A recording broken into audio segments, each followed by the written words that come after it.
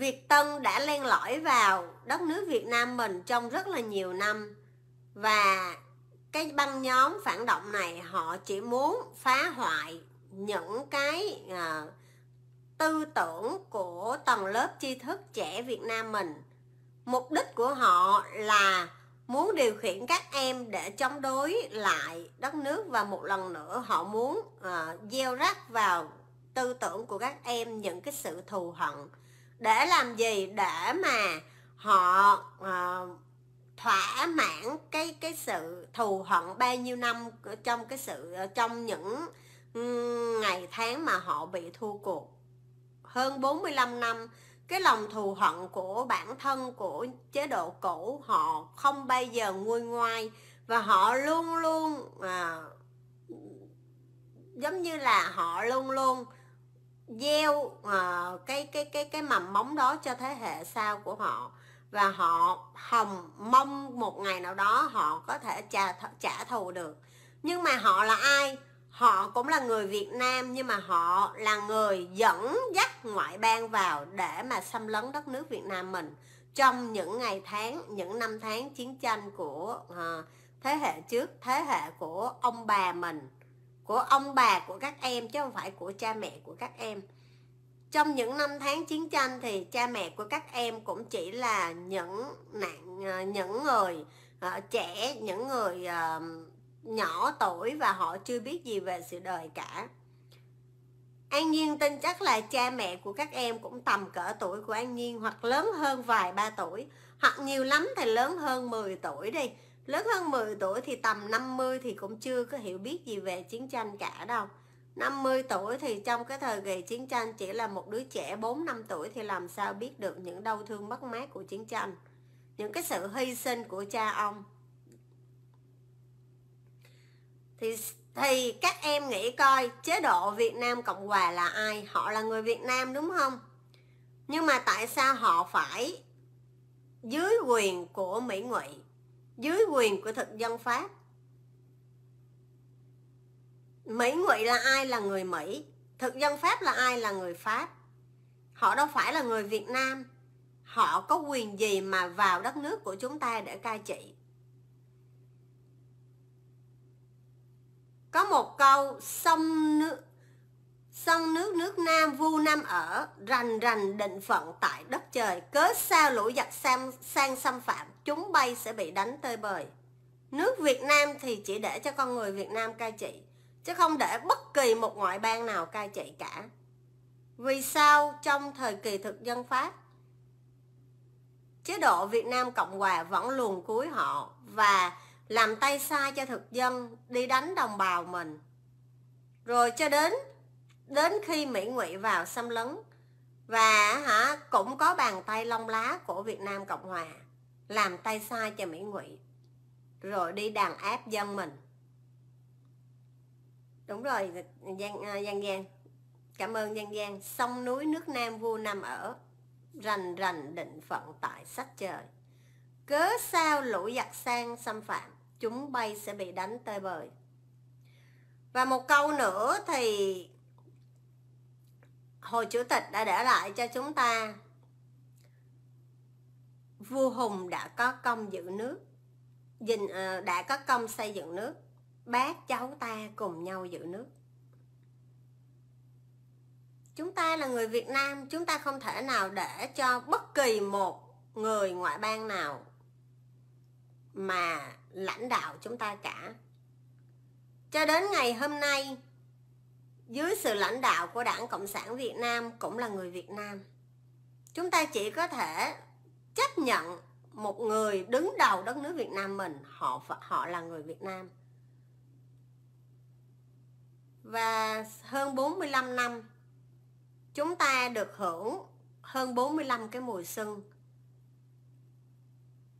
Thật là xâm vầy bên gia đình.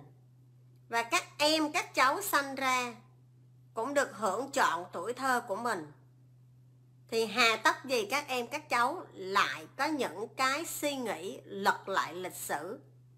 Lịch sử là những cái đã đi qua. Và hiện tại bây giờ các em, các cháu phải nên nhớ là chúng ta nên xây dựng cái tương lai kinh tế của mình hiện tại.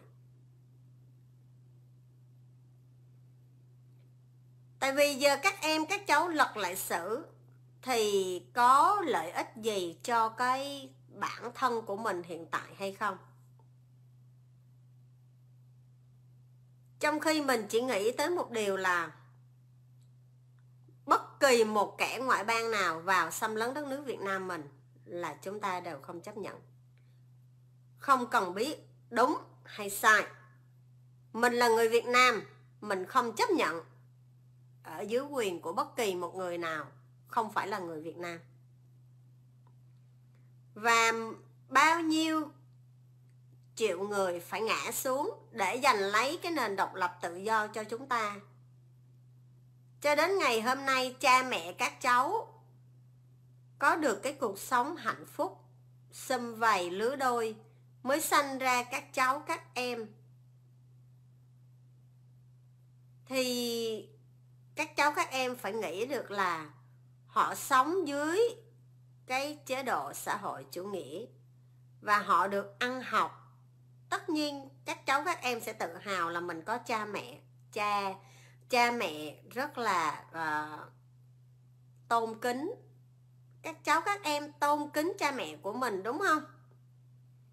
Nếu như tôn kính cha mẹ của mình thì mình phải hiểu được là cha mẹ của mình được sanh ra trong một cái đất nước được độc lập hòa bình cho nên họ mới được có được cái tình yêu lứa đôi trọn vẹn. Thì khi tình yêu lứa đôi trọn vẹn mới nảy mầm và sanh ra các em và các cháu. Họ đã nuôi dưỡng các em, các cháu trong một cái đất nước nghèo khổ và họ cũng đã tạo tầng gầy dựng nên sự nghiệp trong cái hạnh phúc lứa đôi của họ. Mới nảy mầm ra một mầm móng là các cháu và các em. Vậy thì các cháu và các em có trân trọng cái điều đó hay không?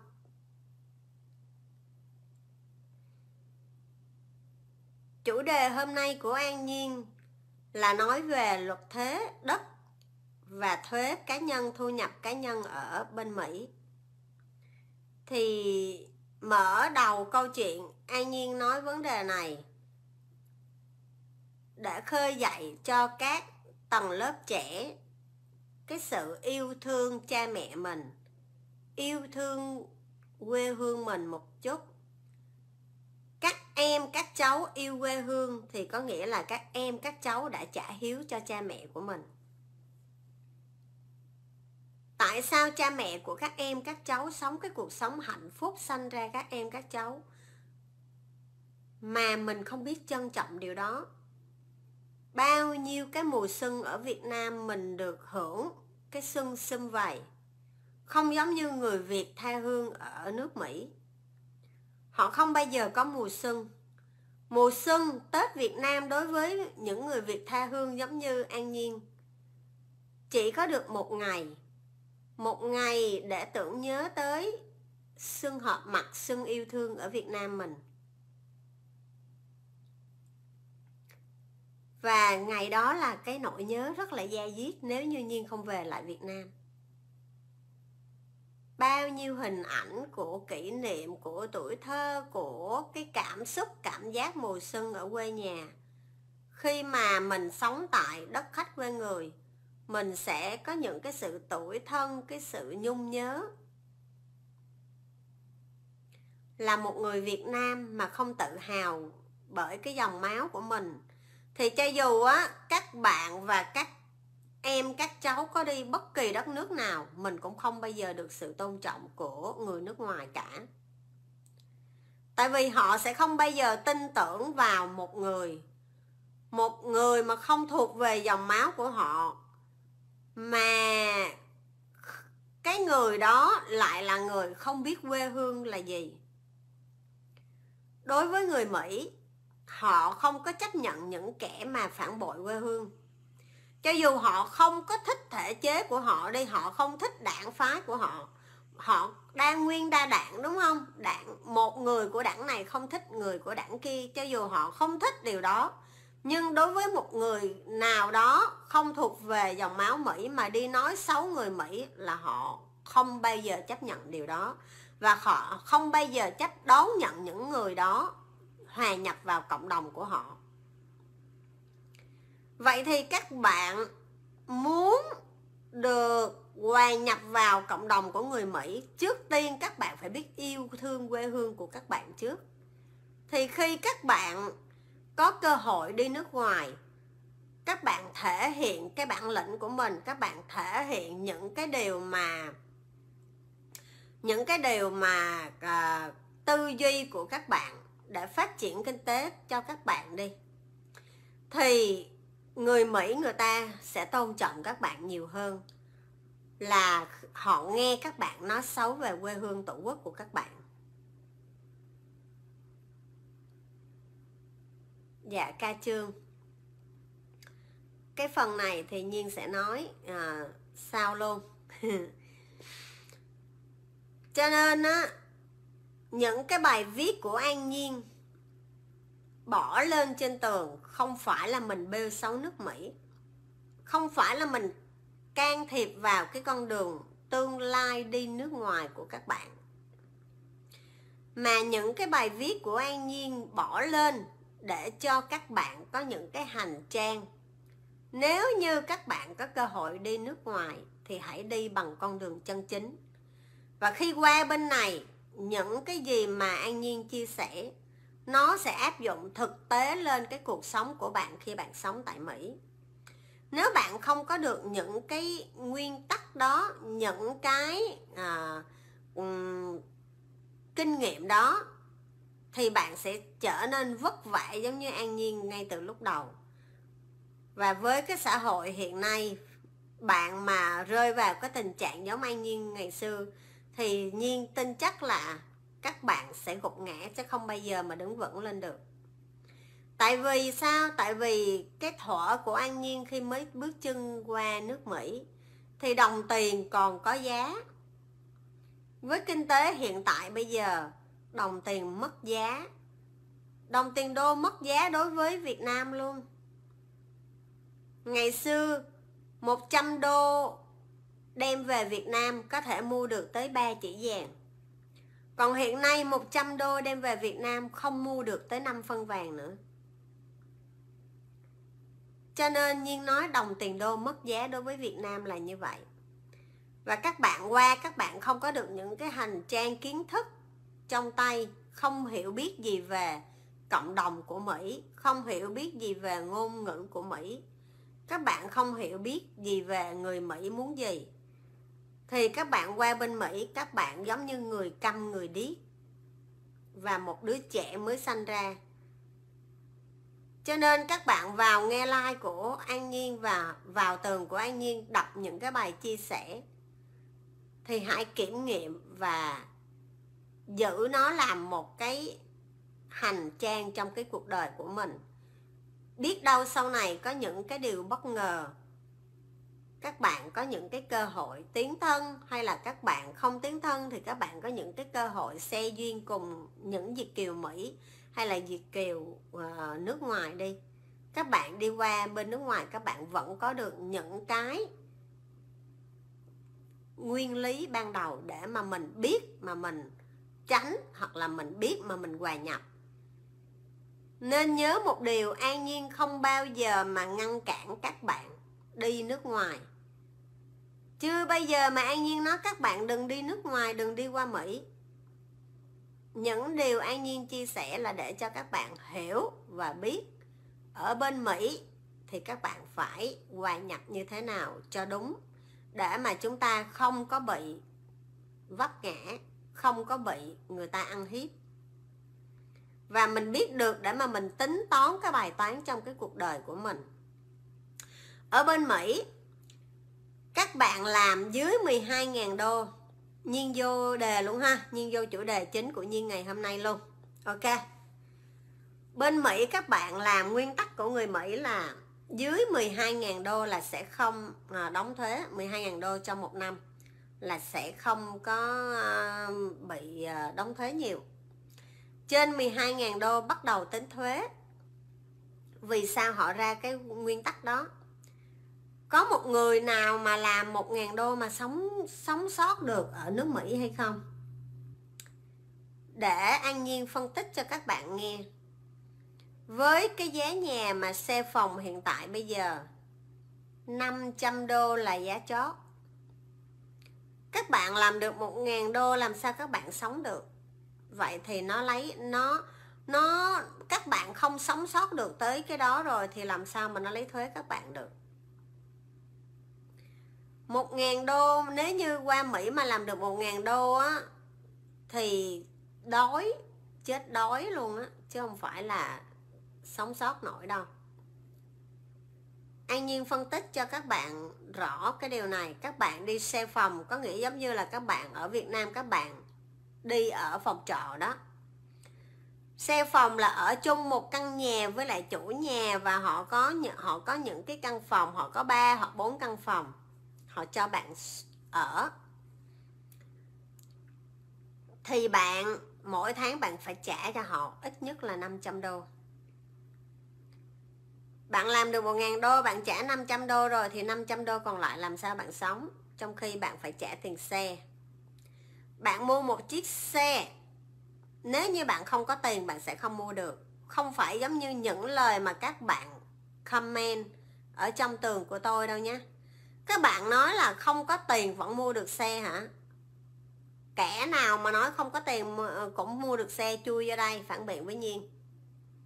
Tên nào dám mị dân, dám mà hả, dắt mũi các bạn cái điều này. Anh chị Việt Kiều nào loan tin là không có tiền vẫn mua được xe? Bước qua Mỹ điều đầu tiên á là bạn phải build cái điểm tín dụng của bạn. Người nào bước qua Mỹ đầu tiên đều cũng đều không có điểm tín dụng cả. Điểm tín dụng có lẽ là có nghĩa là điểm điểm credit. Mà bạn không có điểm credit là bạn không làm được gì trên nước Mỹ cả. Những cái diễn đàn giống như Benny à, gì?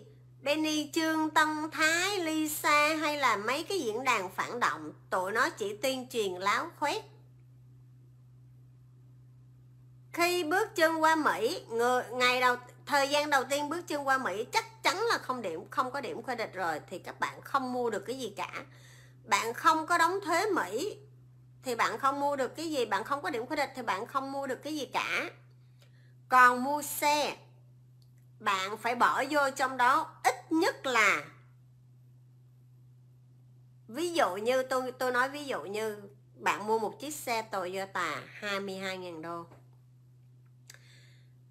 Cái giá mệnh giá là 22.000 đô nhưng mà cộng luôn cả thuế thì cũng phải lên tới 25.000 nha, là lên tới 25.000 đô.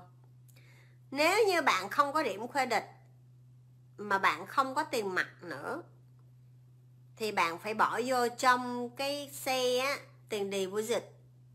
Có tiền deposit thì giống như là gọi là tiền thế chân á. Giá chót á là ba ngàn 10 phần trăm hai ngàn rưỡi. Ok? Mà điểm credit của bạn không có mạnh á thì tiền lời nó lại cao. Điểm credit mạnh là bao nhiêu điểm? Là bảy trăm rưỡi điểm trở lên mới gọi là mạnh muốn có bảy trăm rưỡi điểm bạn phải sống tại Mỹ ít nhất là vài năm. Bạn phải trả bill. Rồi uh, nó sẽ trả bill trong vòng một năm một năm rưỡi. Thì lúc đó bạn ờ, bạn có bill tiền điện bạn có bill tiền điện thoại bạn có bill tiền nhà tiền ờ, tiền gì đó thì sau đó bạn mới có được một cái tín dụng. Thì bạn đóng thuế xong thì bạn mới có được một chút tín dụng nào đó đối với những cái ngân hàng đó, thì nó mới cho bạn khởi nghiệp một cái thẻ là 300 đô trước. Bạn xài và bạn phải trả, bạn xài, bạn trả, bạn xài, bạn trả, bạn bill cái điểm đó. Trong một thời gian thì nó mới tăng lên một năm, nó chỉ tăng lên một chút xíu. Nó tăng lên, hết một năm nó sẽ tăng lên, nó cho bạn thành 500 đô. Làm mượn chứ không phải cho nha. Trong cái thẻ đó là thẻ nợ mà bạn mượn cái đó là bạn xài xong bạn phải trả nó. Bạn không trả nó sẽ tính 29.9% tiền lời. Đó là nguyên tắc xài thẻ credit card. Rồi mỗi năm nó mới nó mới mỗi lên điểm thì bạn phải sống ít nhất trên 5 năm thì bạn mới có được một cái điểm credit. Hơi gọi là hơi hơi mạnh. Đến khi bạn có điểm credit rồi thì bạn mới mua xe. Bạn mua xe thì tiền lời nó mới giảm xuống cho bạn được còn ban đầu bạn mới qua khoảng một năm, bạn mua xe trả góp. Tuy là bạn đã bỏ tiền thế chân rồi, bạn không có điểm credit cao thì tất nhiên tiền thế chân của bạn nó phải cao hơn. Nó phải cao hơn rồi. Thay vì một người có điểm credit thì chỉ đóng 10% đồng tiền thế chân. Đó là tiền, gọi là tiền deposit. Còn nếu như mà bạn chưa có điểm credit nhiều thì bạn phải đóng, ít nhất bạn phải bỏ vô, ít nhất là 5.000 đô mới mua được một chiếc xe Toyota mua chiếc xe đó bạn trả 5 năm. Tiền lời có thể lên tới 6 chấm. Không có điểm quy định còn điểm quy định mạnh mạnh á, là 750 điểm trở lên thì bạn mới trả cái tiền lời khoảng 3 chấm. 2.9 hoặc 3 chấm tiền lời. Có nghĩa là nếu như bạn bỏ 5, 5, 5 ngàn vô deposit rồi thì bạn còn 20 ngàn. 20 ngàn cộng tiền lời vô và chia ra cho 5 năm thì thành lên 24, 23, 4 ngàn đi, 25 ngàn đi. Thì bạn phải bạn bạn bỏ 5 ngàn đô đó thì bạn một tháng bạn phải trả cho nó ít nhất là được gần 500 đô. Gần 500 đô một tháng. Cộng thêm tiền bảo hiểm xe nữa là cũng phải là 600 mấy đô một tháng. Là tiền tiền xe và tiền bạn xe phòng không là đã hơn 1.000 đô rồi. Nếu như bạn làm 1.000 đô mà bạn làm một, một tháng một ngàn đô thì chắc chắn nó sẽ không cho bạn mua xe không đủ điểm không đủ không đủ income để mua xe. Bạn nên nhớ điều đó. Bạn làm một tháng có 1.000 đô bạn không đủ income để bạn đi thuê cái apartment có nghĩa là thuê cái chung cư bạn ở. Cho nên cái cái tiền làm của bạn nó quyết định được bạn có thuê được chỗ ở hay không bạn làm ít tiền thì đừng có nói, đừng có mơ là thuê được cái apartment bạn ở. Chứ đừng có nói là bạn bạn bạn bạn mua được nhà. Tôi thấy các bạn comment trong tường của tôi rất là ấu trĩ và tôi biết là các bạn bị cái tội tân thái Benny Trương hoặc những đứa phản động nó xỏ mũi các bạn. Thợ của anh Nhiên làm bốn, coi làm 50 ngàn đô ha, là nó làm 7 ngày 50 ngàn trong một năm. Có nghĩa là một tháng làm được 4 ngàn đô. Phải đóng thuế hết 10.500 còn một đứa nữa làm 44 ngàn, đóng thuế 9 ngàn. Thì trong 44 ngàn có nghĩa là 4 ngàn một tháng để để an nhiên tính cho các bạn nghe. Đó là thuế thu nhập cá nhân nha. Nhưng nói cái phần thuế thu nhập cá nhân trước. Sau đó nhiên mới chuyển qua cái tiền nhà tiền thuế nhà thuế đất. Livestream hôm nay nhiên sẽ nói hai cái phần thuế này. Dạ anh việt nam. À, nhiên mến chào anh là anh việt nam ha. Nãy giờ nhiên nói chuyện. Thì anh sống ba chục năm mà anh chỉ có bảy trăm rưỡi điểm thôi đó hả?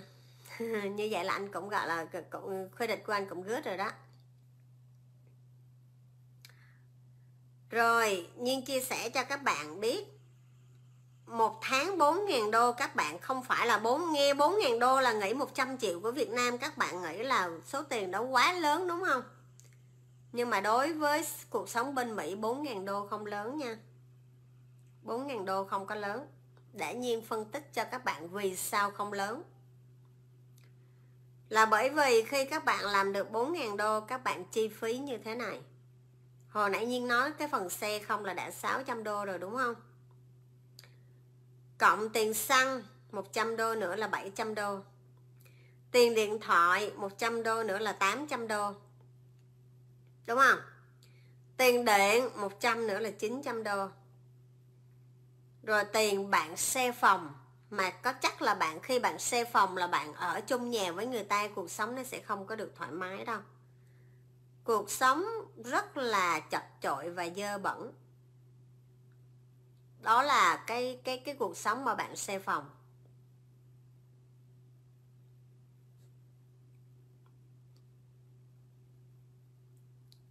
Đó, cuộc sống xe phòng là cuộc sống dơ bẩn. Dạ chào anh đen này thì hồi nãy nhiên tính đến là các bạn đã chi trả 900 đô rồi đúng không? Cộng thêm 500 đô đồng tiền xe phòng là tôi nói là bạn bạn sống cuộc sống chật vật bạn sống cái giống như là bạn chỉ là à, tiết kiệm đó. Đó là 500 đô nữa là 1.400 đúng không? 1.400 một tháng bạn ăn uống thêm 1.000 nữa là thấy 2.400 đứt 2.400 rồi đúng không? Đó là bạn làm 4.000 đô một tháng đó cái đó, cái này là mới, có sơ sơ thôi là 4.000 là 2.400 rồi. 2.400 cộng tiền bảo hiểm thân thể. Nữa, là thấy ha, là thấy là bạn đã sử dụng hết hai ngàn rưỡi rồi đó.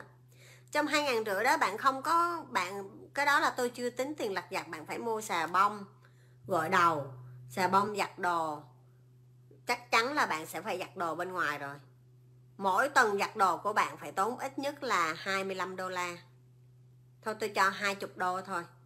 Là một tháng là hết 100 đô tiền giặt đồ nữa, là 2.600 2.600 rồi bạn còn phải tiêu xài lặt giặt thêm nữa, là cũng gần ngóm nghém 3.000 là bạn chỉ dư được 1.000 đô. Bạn dư được 1.000 đô đúng không? Một năm là bạn dư được 12.000 bạn đóng thuế 9.000 rồi, vậy thì bạn còn bao nhiêu ngàn trong túi nữa? Có phải là bạn chỉ dư được có 5.000 đô một năm thôi, đúng không? Một năm ngàn đô một năm đối với Việt Nam thì được cả trăm triệu. Nhưng mà đối với ở bên Mỹ, một năm mà bạn dư được, bạn dư như đó thì bạn chả làm được cái gì cả đâu. Cũng giống như ở Việt Nam bạn chỉ dư được 5 triệu đồng. Cái này là tôi chưa tính tiền bạn đi shopping đó nha cho nên các bạn cứ nghĩ là đi qua Mỹ làm 4.000 đô là bạn bỏ túi được 4.000 đô. Bạn không ăn không xài không mặc không ở sao? Hay bạn ở bạn ngủ ở dưới gặp cầu à? Còn bạn nói là tạo cơ hội cho bạn à, tạo cơ hội cho người dân mỹ tạo cơ hội cho người dân mua nhà. Khi các bạn đi mua nhà cũng giống như đi mua xe các bạn cũng phải có điểm credit và nó cũng phải xét cái income của bạn có nghĩa là tiền làm của bạn.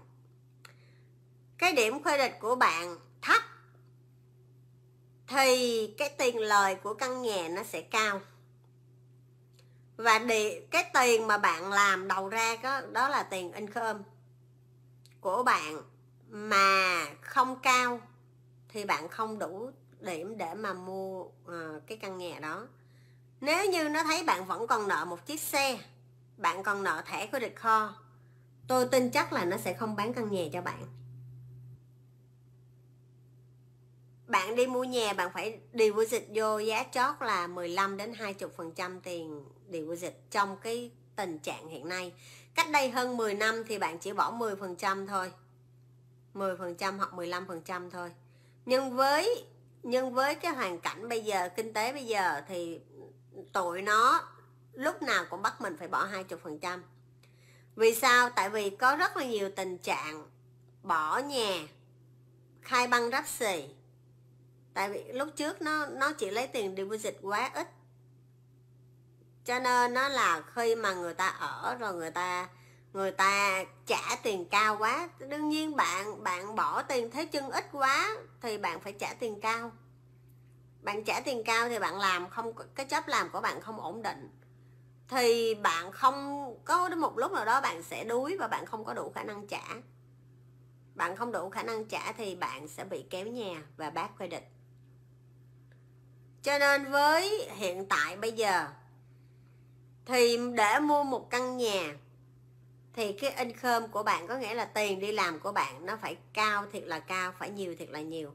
Và bạn phải đi deposit vô một căn nhà, tôi nói ví dụ 200 ngàn đô. Thì bạn phải bỏ vô trong đó ít nhất là 40 ngàn. 40 ngàn ha, là 20 phần trăm đó. Rồi tiền giấy tờ riêng nữa một năm bạn dư có 5.000 đô, một là bao nhiêu năm bạn mới có được 40.000 8 năm. Một chặng đường một một chặng đường 8 năm trời. Cái đó là tôi chỉ tính là bạn ở xe phòng chung với chủ nhà đó nha. Còn bạn muốn cái thế giới riêng tư của bạn là bạn ra bạn ở căn hộ chung cư giống như tôi nè. Thì tôi chắc là bạn sẽ không dư luôn. Với cái số tiền mà bạn làm 8 à, là 4.000 đô một năm, một tháng các bạn nên nhớ các bạn làm 44.000 45.000 đô một năm thì các bạn phải cất ra 9.000 đô đến 10.000 đô để trả tiền tiền thuế, thu nhập cá nhân mỗi năm nha.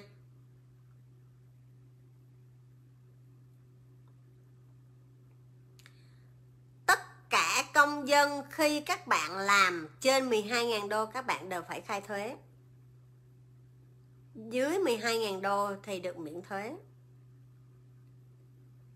12.000 đô có nghĩa là một tháng bạn làm có 1.000 đô, làm sao bạn đủ sống? Mỹ nó tính hết rồi. Nếu bạn có công ăn việc làm thì chắc chắn là một tháng bạn sẽ làm trên 1.000 đô, chứ không thể nào dưới 1.000 đô được. 1.000 đô làm sao bạn đủ sống? Đúng không? Mà nó lấy thuế bạn nữa đâu có được. Thì cũng giống như khi các bạn ở Việt Nam, các bạn làm một tháng được 10 triệu đúng là 9 triệu trở lên là khai thuế, nhưng mà các bạn bỏ mẹ, bỏ con, bỏ vợ vô, các bạn sẽ không có bị khai thuế. Bỏ chồng, bỏ vợ, bỏ mẹ vô, các bạn không bị đóng tiền thuế nào ở Việt Nam. Đúng không? Nhưng mà ở Mỹ thì lại khác. Ở Mỹ bạn làm trên 12 ngàn là bạn phải đóng, ít nhất là ngàn mấy đến 2 ngàn đồng tiền thuế rồi. Không phải bất kỳ người nào cũng đều khai thuế mà khi bạn làm ra tiền bạn làm ra mỗi tháng bạn làm được bao, bao nhiêu đó thì đều nó nằm ở trong cái số an sinh xã hội của bạn. Tội thuế nó bấm lên nó biết hết bạn cũng muốn trốn cũng trốn không được nữa. Tại vì chủ của cái tiệm nail hoặc tiệm phở hoặc tiệm tóc khi bạn bước chân vô làm cho một cái hãng xưởng hoặc là chủ hoặc là tiệm nail tiệm tóc tiệm phở. Cái điều đầu tiên là người chủ muốn ở bạn đó là bạn phải đưa cho người ta cái số an sinh xã hội và cái à, thẻ à, cái thẻ ID có nghĩa là cái thẻ driver license thẻ bằng lái của bạn. Để họ lấy cái số đó bằng lái họ lấy bằng lái làm chi? Để họ biết được bạn nhà bạn ở đâu và xe của bạn như thế nào họ lấy. Như vậy, để khi bạn phạm pháp, họ sẽ báo cho cảnh sát biết để mà chụp đầu bạn. Còn số an sinh xã hội là cái số chứng minh của bạn. Chứng minh nhân dân đó, giấy tờ tùy thân của bạn đó, thì họ phải lấy hai cái đó. Cho nên bạn làm cỡ nào bạn cũng không bao giờ bạn trốn thuế được.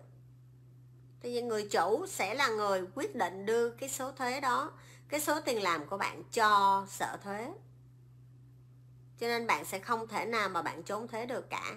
Bạn không đưa hai cái giấy tờ tùy thân đó thì người chủ không nhận bạn làm. Bắt buộc bạn phải đưa. Mà bạn ngoan cố không đưa nữa thì họ sẽ nói là họ có nghi vấn bạn ở lậu. Thì lúc đó bạn sẽ rắc rối.